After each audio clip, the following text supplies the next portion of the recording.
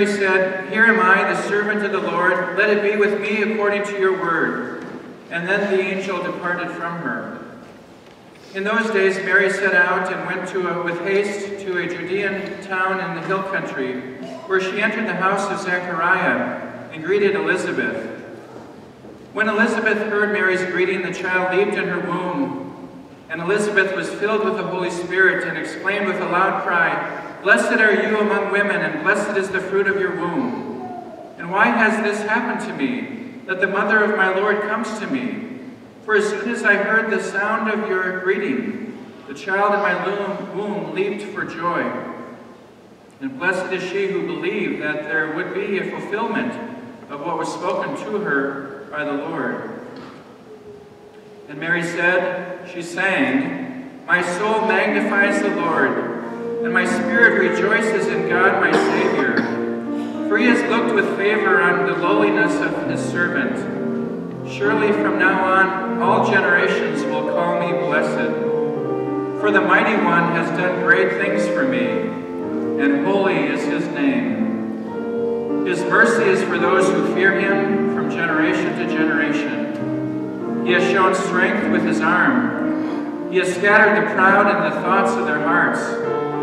He has brought down the powerful from their thrones and lifted up the lowly. He has filled the hungry with good things and sent the rich away empty. He has helped his servant Israel in remembrance of his mercy, according to the promise he made to our ancestors, to Abraham and to his descendants forever. The gospel of the Lord. Praise, Praise to you, O Christ. You may be seated.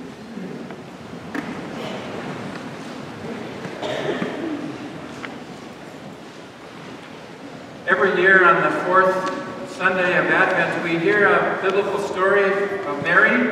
And this year, not only the story of her visit with Elizabeth, the mother of John the Baptist, but we also hear Mary sing this powerful song. The opening chapters of Luke's Gospel are full of songs from Zechariah and Mary and the angels and Simeon. And right before we hear Mary's song, we hear Elizabeth declare about Mary, Blessed are you among women, and blessed is the child you will bear. These two women are very strong models of faith for all of us. One too old to bear a child, one so young she was not yet married, yet both were called to bear children of promise, through whom God would change the world. As Luke describes them, they are filled with the Holy Spirit. When the Word of God is spoken to them, as difficult and as challenging as that Word is, they believe it. They trust God with their whole lives. They were courageous, faithful, and bold. Mary had just received this amazing news direct from the angel Gabriel, and she responded with a servant's heart. She was chosen by God to give birth to God's own Son, and she told Gabriel, Here am I, the servant of the Lord, let it be, or may it be to me, according to your word. And later she went to the home of her relative Elizabeth, and amazingly Elizabeth recognized that Mary's child was destined to be great. And Mary responds with a song that we call the Magnificat, because that word Magnificat means to praise or to glorify God, to lift up one's voice in prayer, praise and thanks to God. And so Mary then becomes a model of faith for us. From Mary, we learn about the courage to say yes, especially as we're faced with the challenges of our life. Mary said yes to God. Perhaps God chose her as the place of God's arrival through Christ on this earth because he knew that it was her habit to say yes to her Heavenly Father. And after Elizabeth's word to her, Mary breaks out in this, this song. My soul glorifies or magnifies the Lord. My spirit rejoices in God, my Savior. I think that Mary also knew the song of Zephaniah 3.17, which talks about that God is with her, that God is mighty to save, that God is going to quiet her with God's love, and that God was rejoicing over her with singing. And now it's Mary's turn to sing a song of praise to God. It's a song that's saturated with themes from the Old Testament. And here on this slide you see the comparison between the Song of Hannah in 1 Samuel chapter 2 and the Song of Mary in chapter Luke chapter 1. And as you look at the color phrases be, be, with both chapters, you see many similar phrases there. Just pause for a moment to take a look at that. Would be a good Bible study this week to take a look at 1 Samuel chapter 2 and Luke chapter 1. Mary really sings Hannah's song here. This month's cover story of National Geographic is titled Mary, the most powerful woman in the world. Another magazine a couple years ago, Christian Christianity Today, titled her Incendiary Mary. What does that mean? Capable of starting a fire. That doesn't sound like the meek and mild Mary, humble and gentle. The author of that article, Scot McKnight, says that here in this song we discover not so much the Blessed Virgin Mary draped in piety, but the blessed valorous Mary dressed for action. She is indeed brave and valiant as she sings her song. The great Methodist Christian missionary to India, E. Stanley Jones, considered the Billy Graham of India, said that the Magnificat, this song, is the most radical and revolutionary document in the world.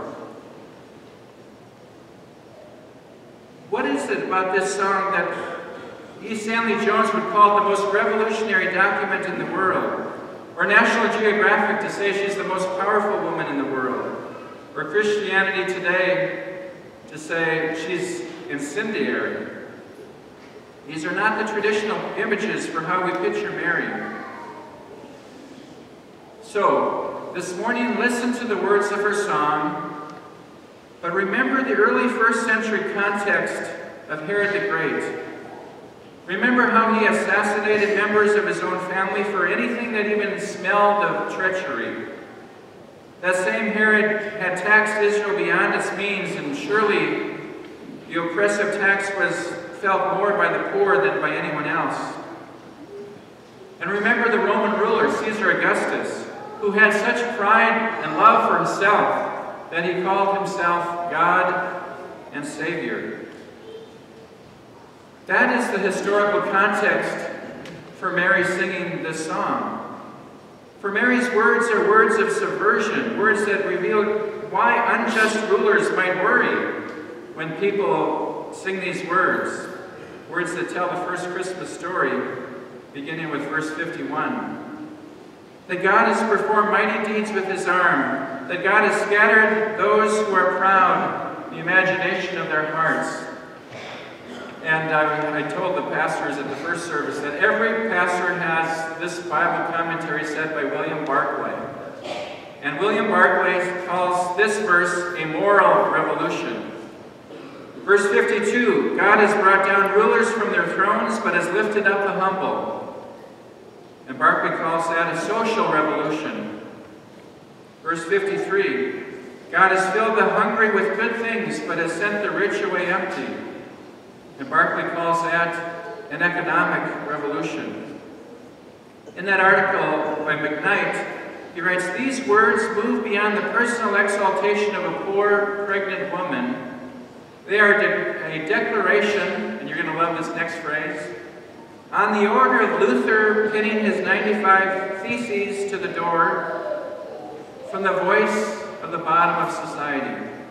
It is a voice crying from the depths that God's Messiah was finally coming to bring justice for the poor, such as Marian and Simeon and Anna and the shepherds. It was a voice proclaiming a new order an order centered around her Son, the one who has saved his people from their sins. If you were a poor woman in that first century, if you were hungry, if you had experienced the injustices of Herod, and if you stood up in Jerusalem and sang these words, that God was going to yank down the proud, the rulers, the rich from their high and mighty places, you would likely be tried for your subversion. If you were Herod or one of his ten wives, you would conclude that Mary, this Mary, is a rebel, a revolutionary, a social protester, and you would be right.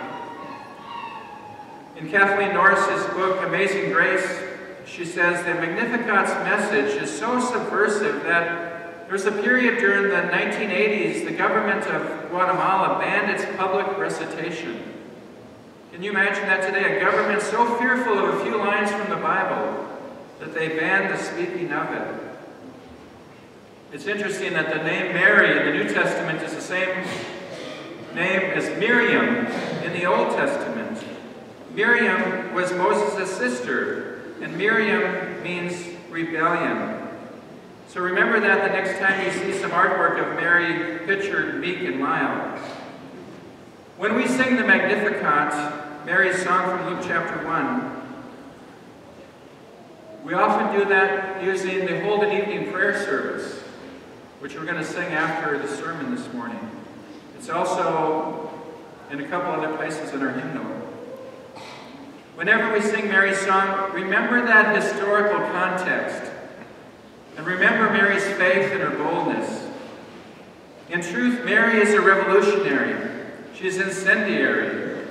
In her song, she prophetically sings that God regards the poor, that God exalts the poor, that God feeds the poor, that God helps the poor, that God remembers the poor. It is about justice for the poor. But the song is also more than that. It announces the coming of God's kingdom, that Mary's son would begin. Jesus' kingdom is not about earthly power, pride, might, riches, but about, as Romans 14 describes, it's about God's righteousness. God's righteousness. It's about, Romans 14 says it's about peace and joy in the Holy Spirit. Some of you who saw the movie are getting a kick out of that slide. And Scot McKnight concludes his article by saying, The Gospels come from many voices, and the one of those was Mary's. Her voice tells us what God would do through her son to subvert the injustices of Herod and the pretentiousness of Augustus. Her voice tells us that somehow, some way, someday, God would establish a kingdom of peace for the world. And Mary changed the world by surrendering to the angel Gabriel with these words, May it be, or let it be. And God used her to set loose the power of God, the gospel of the kingdom of God. This is the Mary that we need to reclaim, her voice as our own. Now, as Christians who happen to be Lutheran, we do not, we don't pray to Mary, we don't worship Mary. But she is a strong a model of faith, of discipleship, as you will find in the scriptures. Mary, Mary like us, kneels at the foot of the cross. Mary, like us, is a witness to the resurrection of our Lord. With her, let us magnify the Lord, that is, enlarge his appearance as we rejoice in God our Savior, so that the world might see God more clearly through us. With her, let's sing the revolutionary verses of her song that speak the truth of what God's kingdom is all about. It is about doing justice for all people. It's about good news for the humble and for the hungry, it's about magnifying the Lord, rejoicing in God our Savior. So with Mary, let us put our words into song and let us put our faith into action. Amen.